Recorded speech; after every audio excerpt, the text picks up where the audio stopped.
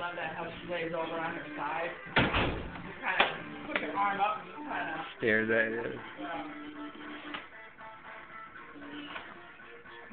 Um,